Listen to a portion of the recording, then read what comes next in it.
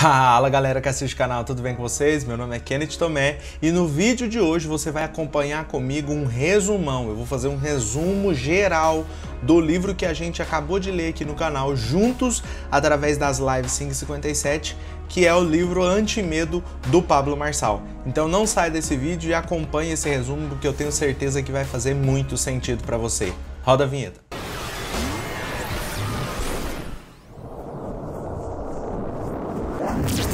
Então, pessoal, tudo bem com vocês? Espero que sim. No vídeo de hoje nós vamos falar passo a passo aí, fazer um resumão do livro Antimedo do Pablo Marçal.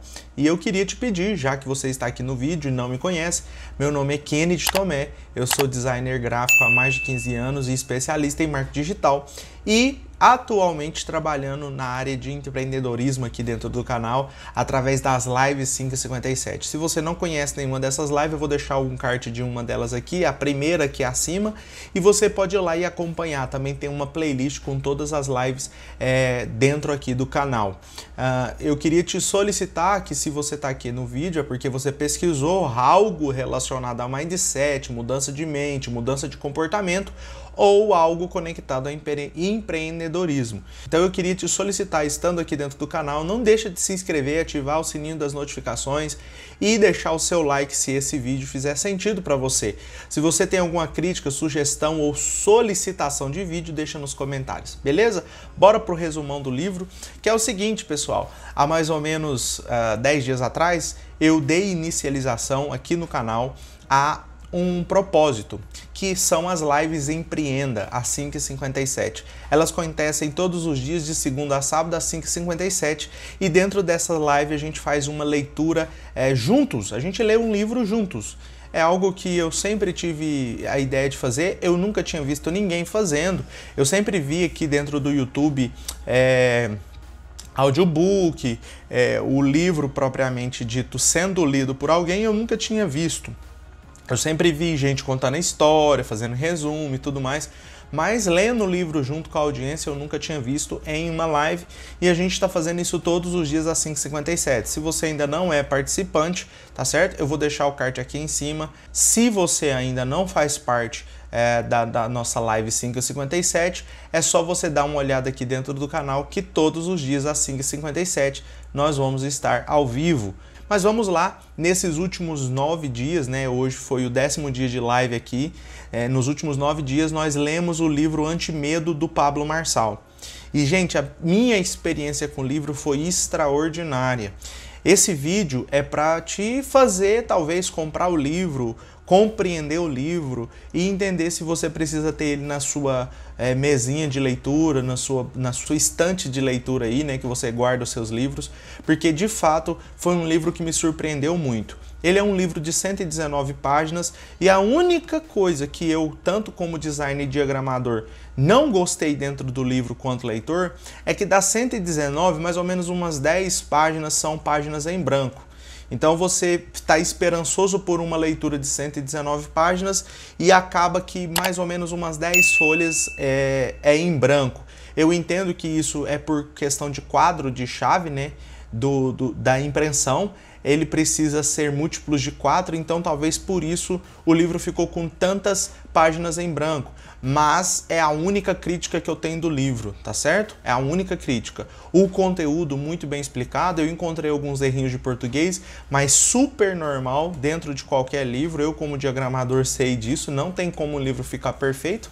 E de acordo com as tiragens e com as edições vão sendo soltas, os erros vão sendo resolvidos. Quem é leitor de livro e não sabe compreender essas coisas, realmente é, tá no lugar errado, porque livro sempre tem uma coisinha aqui, outra ali, um S passando, um, uma vírgula passando, um ponto faltando, é super normal. Mas o sumário do livro trata de alguns pontos muito específicos que eu quero ler junto com vocês. O primeiro ponto do sumário é: o seu maior bloqueio tem intimidade com seu propósito de vida, é o início do livro.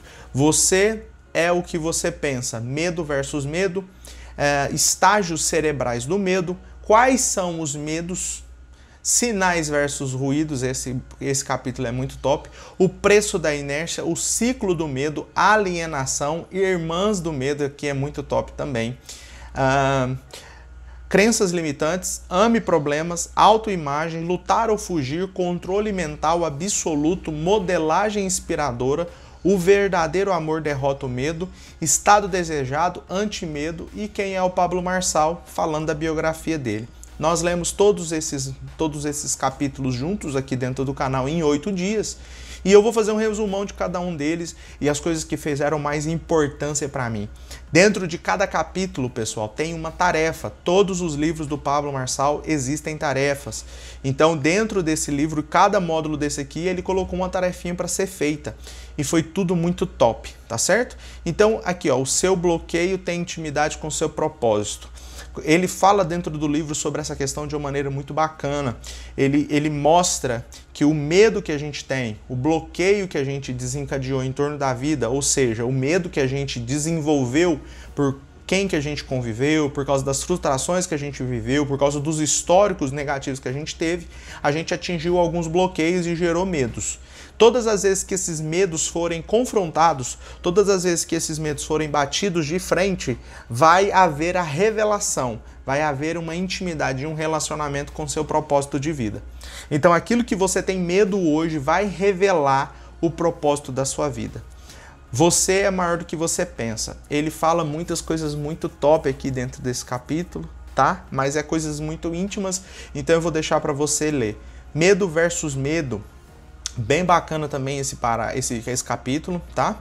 É, os, os, os primeiros momentos do livro, ele vai basear tudo que ele vai falar nos, nos últimos capítulos, que é tudo muito forte. Tá? Mas eu vou falar para vocês aqui, porque senão o vídeo fica muito longo, os pontos que fizeram mais sentido para mim ele fala sobre sinal versus ruídos dentro do, do, do livro. E o, é de, existe uma diferença. O que é sinal, o que é ruído? O sinal é uma conexão que você tem com a fonte, que é o Criador, que de fato é a verdade. Você precisa conseguir distinguir o sinal do ruído. O ruído é uma mentira relacionada ao seu propósito, relacionado ao que você deve ser na vida. E os ruídos, eles vêm para tentar te deixar confuso e de fato deixa tá? O preço da inércia, ele fala dentro desse capítulo sobre a questão de quem estar parado nunca se movimenta. E quem se movimenta, mesmo muito lento, está em movimento, nunca para. Então quem está parado, parado fica, não se movimenta de maneira alguma. Já quem está em movimento, mesmo que de maneira muito lenta, essa pessoa nunca vai parar, ela sempre vai estar em movimento, tá? O preço da inércia né, que é o que a gente falou agora. O ciclo do medo, ele fala detalhadamente de maneira cerebral e organizada dentro do livro como que funciona essa questão do ciclo do medo e é muito top. Alienação, ele desqualifica e quase ordena que nós paremos de ler e ver tudo relacionado à mídia. Então o que, que ele manda fazer? Não, não ver mais televisão, não ler é, jornal, essas coisas, noticiário de, de telejornal na televisão, né? E nenhum tipo de situação que vai te fazer alienado. Então ele, ele deixa muito bem claro que a alienação prejudica muito e deixa a pessoa que já tem problema com medos é, fazer isso ficar muito mais aguçado e muito maior. Então tome muito cuidado com a alienação. As irmãs do medo, eu até vou lá nesse capítulo com vocês para falar para vocês detalhadamente as irmãs do medo, porque é muito top. E aí, o que, que ele ensina dentro desse capítulo? Ele ensina que nós não devemos nos casar com nenhuma delas.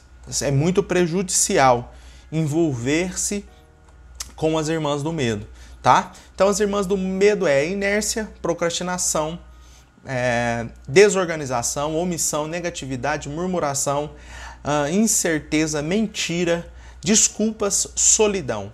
E a solidão é uma das mais pesadas. Ele fala que nós somos seres relacionáveis e, sendo seres relacionáveis, a gente foi criado para se relacionar. E isso foi o pensamento de Deus intimamente dentro dele, não para que não em primeira instância relacionamento um entre o outro. Nós precisamos entender que somos seres sociais, tá? Somos seres sociais. Então, ele pensou, primeiramente eu vou fazer o homem social para que ele se relacione primeiramente comigo. Então, eu tenho até uma, uma palestra, né, um estudo que eu falo sobre os três níveis do homem. O, nome foi, o homem foi criado em três etapas. Na primeira etapa é o homem é, o homem espiritual. Na segunda etapa, o homem almático, né? o homem que tem alma. E o terceiro ponto, o homem social. Como que funciona isso?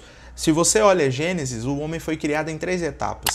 Gênesis 1, 26, Gênesis 3, 5 e Gênesis 5. nesses três pontos de criação, Uh, Deus fez cada parte do homem. Nós somos tripartidos: corpo, alma e espírito. Dentro disso existe uma relação chamada ser, ter, ser, é, ser, fazer e ter.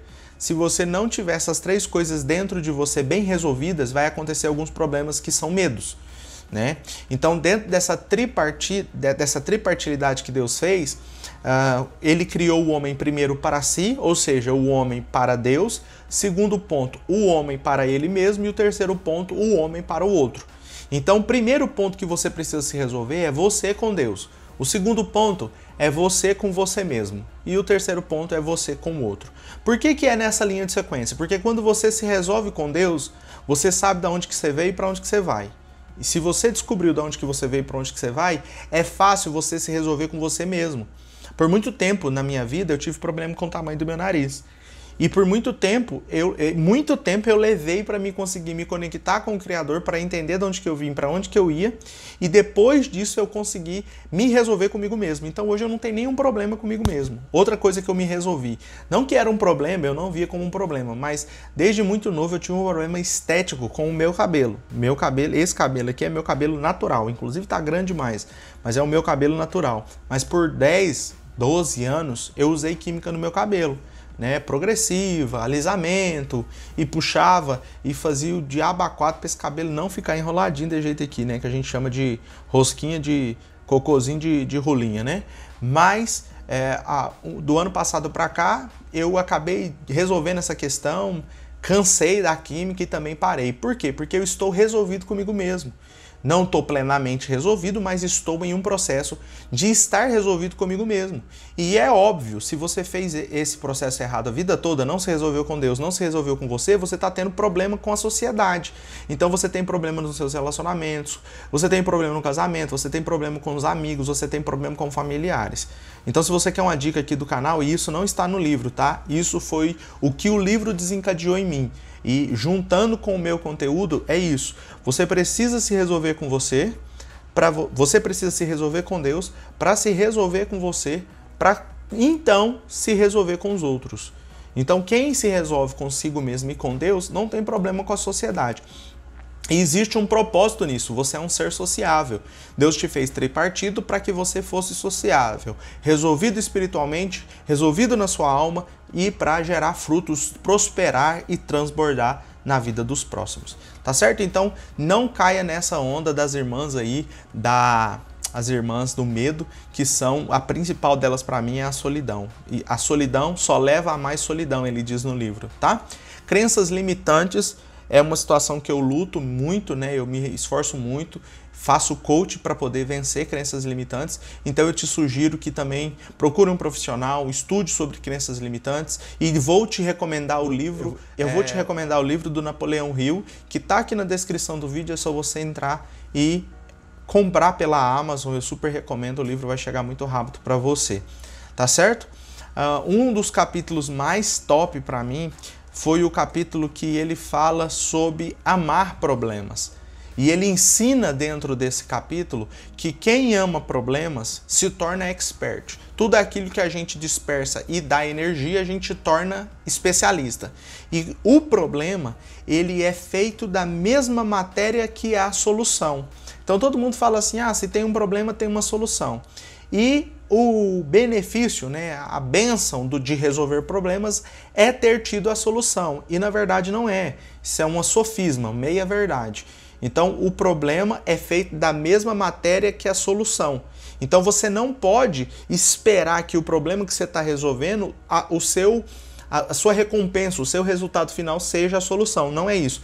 Na verdade, a explicação dele no livro é que todo problema do outro lado da ponte do problema existe uma, uma recompensa, um resultado, um presente. Se você não ganhar de maneiras específicas, você vai ganhar aprendendo. Todo problema só tem a ganhar. Você nunca perde resolvendo um problema. Então ele, ele, ele, ele solicita, né, ele orienta que a gente sempre pronuncie eu amo problemas, eu amo problemas. E ele conta em um dos capítulos do livro que um grande especialista em psicologia estudou várias crianças né, lá nos Estados Unidos, lá para fora, e ele estudou a seguinte situação: as crianças que fugiam de problemas na escola e ele estudou dois tipos de perfil: as crianças que fugiam de problemas da escola e as crianças que enfrentavam o problema, né?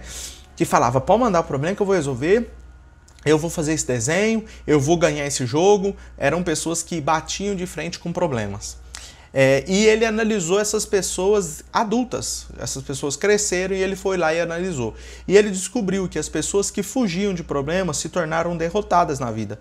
Isso é 100%, Kenneth? Perfeito? Não, vai ter variáveis e sempre tem essas exceções. Mas na maioria delas, 60%, 70%, 80%, os que não corriam atrás de problemas, que amavam problemas, se tornaram fracassadas. E as que lutavam, que iam de frente com problemas, que batiam de frente com o problema, essas pessoas se tornaram pessoas de sucesso. Então, para mim, fez muito sentido e fez muito sentido também ele ensinar sobre essa questão. Pro, é, problema e solução são feitos da mesma matéria. Todo problema gera recompensa. Isso é muito importante. Então ame problemas, se torne expert em resolver problemas. E aí ele diz, né? Problema, ele, ele é uma pessoa, ele sonha em não ser resolvido. O desejo dele é não ser resolvido. Quando ele encontra uma pessoa que resolve todos os problemas que vão de encontro a ele, os problemas começam a fugir dessa pessoa. Uau, né? Então, todo problema que encontra a pessoa que resolve todo tipo de problema que vier diante dela é uma pessoa que não vai ter problemas, porque os problemas vão começar a fugir delas, tá certo? Isso foi muito top também. A outra coisa muito top que tem dentro do livro é sobre questão de autoimagem, você se autoconhecer, você se auto é, saber, se dominar, se conhecer de verdade. E ele ensina sobre autoconhecimento, sobre a autoimagem, é algo muito top que você precisa ter é, pensamentos, é, ou seja, sempre pensamentos positivos, pensar de maneiras positivas sobre você. Os seus olhos, você declarar sempre que os seus olhos está vendo coisas visionárias, benevolentes e assim por diante, com seu nariz, com palavras e com ouvidos, que, que são os sentidos. Ele tem dentro do, do, do, dentro do capítulo, ele tem uma parada sobre auto sobre autodisciplina. E ele ensina sobre autodisciplina muito, algo muito, muito, muito, muito top, que é Vou, vou, até finalizar o livro com essa questão e vou falar também sobre a questão da modelagem. Antes de falar da, da questão da autodisciplina, eu vou falar da modelagem. A modelagem é o seguinte: você precisa selecionar sete pessoas dentro do seu contexto de vida, melhores do que você ou que fazem aquilo que você deseja fazer um dia, que você sonha em ser e em fazer um dia, e você vai modelar essas pessoas e vai poder colocar as suas pitadas, né, o seu jeito de falar, o seu jeito de pensar. Não é fazer uma cópia, é modelagem, tá? Porque modelagem não é cópia. Você vai seguir essas pessoas, se envolver com essas pessoas e você vai modelar elas. Se elas estão num status que você deseja chegar, você vai fazer a modelagem delas. E aí eu recomendei até dentro da leitura, né, do livro, que eu faço isso dentro do meu Instagram. As pessoas que eu modelo são as pessoas que eu sigo. Hoje são sete pessoas e no máximo vão ser 12. Eu ainda não escolhi as 12, mas serão 12 pessoas que eu vou modelar para o resto da minha vida. E eu te sugiro que faça a mesma coisa. Não existe, não tem condição uma pessoa seguir 500 pessoas, mil pessoas. Tem gente que segue 5 mil pessoas no Instagram. Não tem, não tem nexo um negócio desse. Se você ficar o dia inteiro rolando o seu feed do Instagram, não vai acabar. Uh, a, o, o, conteúdo da quantidade de pessoas que você está seguindo. E aí, sobre a autorresponsabilidade, foi muito surreal. Ele ensina dentro da autorresponsabilidade, que é o. que é sobre. É, entra. Ah, perdão, a autorresponsabilidade não, a autodisciplina, e ele explica que para que a gente consiga dominar a autodisciplina e ter autodisciplina com tudo que a gente for fazer, a gente precisa dominar e controlar três coisas na nossa vida, que é o controle da língua, o controle dos impulsos sexuais e o controle da alimentação. E aí ele solicita como que está isso na sua vida hoje. Você precisa dominar essas áreas acima de 50%. Então eu queria finalizar com isso com vocês aqui. A, autodisciplina para mim valeu a leitura toda desse livro, esse conhecimento final do livro sobre a autodisciplina valeu o contexto todo do livro, que foi isso. Eu só vou ter autodisciplina com tudo que eu me comprometo a fazer, ou seja, começar e terminar o que eu determina fazer, é, o que eu preciso fazer a vida toda, como exercício, alimentação, essas coisas. Conseguir ter autodisciplina disso vai depender apenas de mim e eu preciso dominar três áreas específicas que eu chamo, eu, eu coloquei no meu coração como pilares, que é o controle da minha língua, o controle dos meus impulsos sexuais e o controle da minha alimentação. Eu posso dizer com propriedade de vida que essas são as três áreas que o ser humano hoje mais falha: língua, impulso sexual e alimentação. Se você é conectado à fonte, ao Criador, ao Deus do universo, você precisa dominar essas três áreas. Dominando essas três áreas entra a autodisciplina. Tudo que você se propor a fazer, você vai fazer com autodisciplina e aí o resultado é inevitável. Por tudo, porque tudo aquilo que você aplica energia de maneira determinada, aplicada e diária, cresce. Então não tem como não dar resultado. No início vai ser só uma semente que você vai plantar, mas você precisa fazer isso. E aí o Espírito de Deus me lembrou de algo muito top aqui dentro do livro também, e eu não vou deixar de falar, que é sobre a questão do medo. Ele explica dentro do livro que o medo é uma semente e ele tem várias maneiras de crescer. Então ele precisa receber adubo, água, terra propícia para ele crescer. E nós, seres humanos, no contexto de vida que vivemos diariamente, temos todos os adubos e, e nutrientes necessários para esse medo se desenvolver a cada dia. Ansiedade, autoconsumismo, alimentação, alienação, televisão é, e, enfim, o alto nível de conteúdo que a gente recebe diariamente faz isso com a gente. Então ele explica, precisa contra-atacar isso primeiro deixando de ser alienado, é, colocando, é, colocando como que você deseja estar daqui a um tempo, autoimagem resolvida, é, autodisciplina e tudo mais. Além disso, ele explica que o segredo de vencer todo o medo é você simplesmente enfrentar todos os medos. O agrotóxico que mata a semente do medo dentro do ser humano se chama enfrentamento. Então, todos os medos que você tenha, bata de frente, enfrente-os, coloca numa lista e enfrente um diariamente, coloca tarefas para você enfrentar esses medos e eles morrerão na sua mão, porque além de você deixar eles sem os nutrientes, porque você vai resolver todas as suas questões com a autodisciplina, com sua autoimagem, o estado desejado que você deseja estar daqui a um tempo, colocando meta, colocando sonho, você vai mirrar a energia desses medos e além disso, enfrentando eles, você vai destruir eles, porque o enfrentamento é o agrotóxico do medo. Eu espero que vocês tenham gostado aqui do resumo do livro. É, eu quero solicitar mais uma vez que você se inscreva aqui no canal, ative os sininhos das notificações para você receber os próximos vídeos e não deixe de deixar seu comentário aqui sobre esse vídeo. É um vídeo que a gente está falando sobre mudança de mente, mindset, um resumo do livro Antimedo do Pablo Marçal, mas não deixe de deixar seu comentário, aquilo que você mais gostou aqui do resumo que eu fiz. Um beijo no seu coração, até o nosso próximo vídeo. Jesus te ama e eu também. Tchau, tchau. Fui!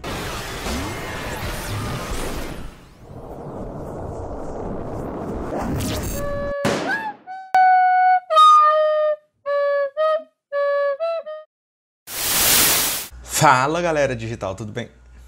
Que é essa, velho? Então, pessoal, tudo bem com vocês? Nós estamos aqui no canal já há mais ou menos alguns dias, fazendo as lives, né? Assim que. Você